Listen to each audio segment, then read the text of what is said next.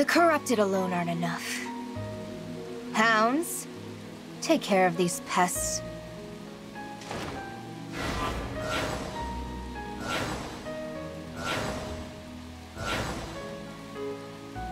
I understand what must be done.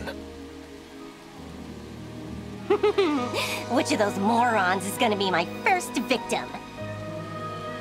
Orders are orders. I just hope the other side gets a few good slices on me. We won't let them escape, Lady Veyle. You have my word.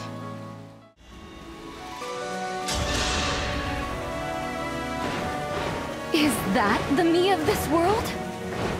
You have my face? I don't know what manner of illusion that is, but I dislike it. Away with you! Such incredible power. Is this world's version of me really the Divine Dragon's enemy? If she pledged to serve Sombron, then I said some naive things to the Divine Dragon.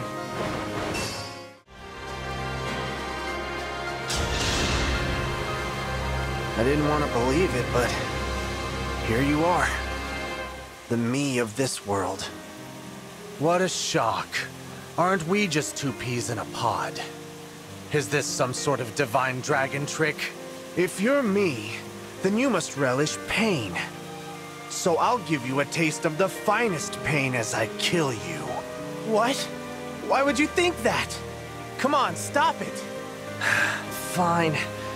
I don't like the thought of hurting myself, but I don't seem to have a choice.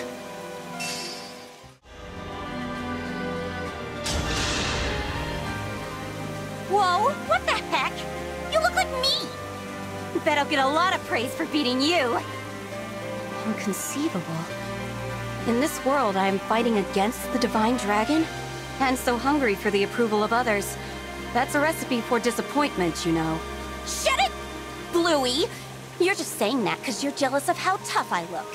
If I envy you for anything, it's that you get to be close to Mauvier. Please, treasure the time you have by his side.